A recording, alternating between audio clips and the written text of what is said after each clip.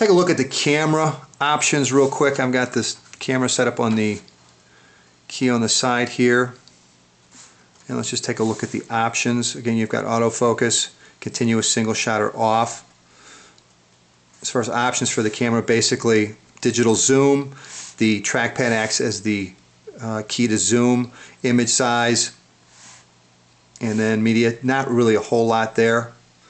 Let's go back and take a quick look at the video camera. We've got under options as well. And you've got a bit more here.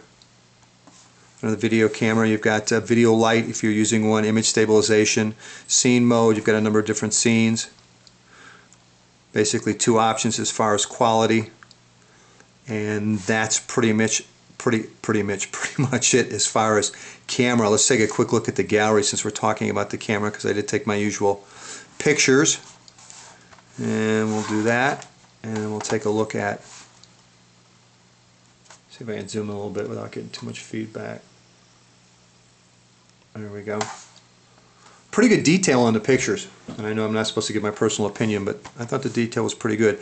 Now it takes a while for it to refocus when you when you zoom in and I'll let you know when it's done it. There we go, that looks pretty good. And again, it offers multi-touch. That was an indoor shot with flash. This is outdoor, and again, you can see what happens when you first double tap. And it's still working on zooming in there. Now it's done. We'll go here and give it a second to refocus, see if it'll do it on the license plate number. It's actually not that hard to read. I think we've zoomed in too far. Here's our parking sign. You can see what you get when you first do it, but give it a second to refocus. And it's pretty sharp. It's pretty good detail for a 5 megapixel camera. Here's our flower picture, of course. Wait for it to refocus. And you can see it's working. And there we go. Let me zoom in a little bit more. So detail's pretty good with the 5 megapixel camera. I was fairly impressed with that. All right, had a little hiccup there. I think I've gotten it uh, taken care of. We'll take a look at the video.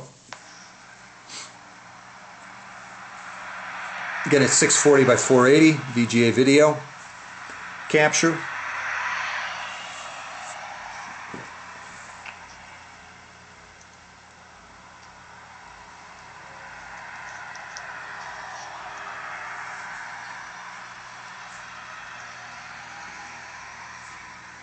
All right, there's a look at the video. Let's do a little navigating. And you basically have to load AT&T Maps. If you want voice turn-by-turn -turn navigation, not only do you have to load AT&T Maps, but AT&T Navigator, and they charge you $9.99 a month to uh, use their voice turn-by-turn. -turn. So basically all we're going to do is just a simple search and take a look at the maps. And it's great you get that little accept thing every time you fire it up, which I always think is so much fun. And we'll do our typical Starbucks search. There's Starbucks right under here. Search. And I don't know why we get the pizza up there at the top, but we do. And we'll drive to. Alright, so here's our directions. But again, if you want voice turn-by-turn -turn navigation, you have to pay for the AT&T Navigator to get that done. All right, let's take a look at a couple of web pages on the BlackBerry Torch. And again, we'll start out with Smartphone Envy. Again, it doesn't offer any type of Adobe Flash, whether it's Flash Lite, obviously not Flash 10.1. So it will load the web page, but any Flash type ad will not show up and it's already got it loaded.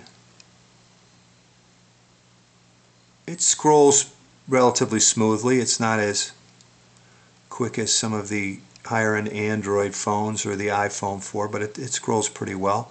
Again, you can double tap to zoom in. Also offers multi-touch. There we go. Doesn't reformat it to fit the screen, but works. Scroll back up here at the top and we'll go to another page. Let's go to reviews. Let's try and play a review. You see it moves pretty quick. All right, and then let's play Face Off Samsung Fascinate versus a Droid Incredible. So we'll open that up.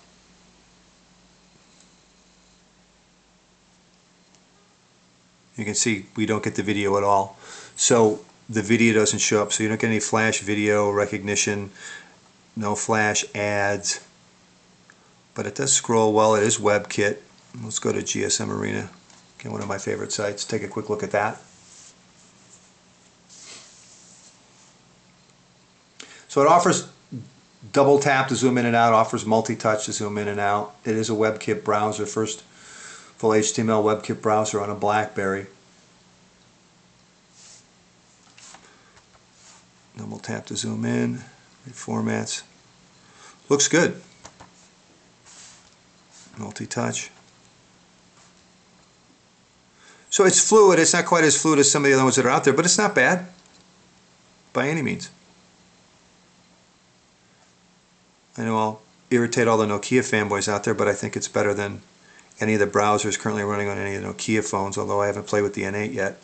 But um, so there you go. Again, I threw a personal opinion in. I apologize for that. So there's a look at the new BlackBerry Torch, BlackBerry's latest flagship smartphone, available through AT&T. I hope this has been helpful. Take care.